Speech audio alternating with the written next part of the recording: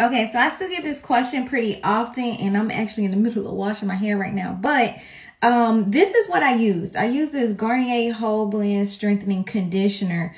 I use a lot of conditioner. I use a lot of water.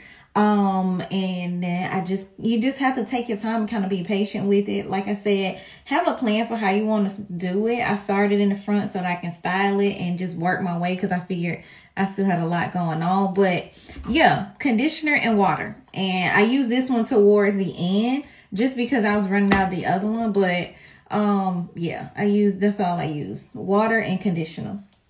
And let it sit on for a little bit before you start like, um, before you start taking it out. And only wet the ones that you're to take out. Like don't wet your whole head. Only wet like a section at a time. So that way you can work through it and you don't want your hair to get like mold and stuff. So yeah, that's it.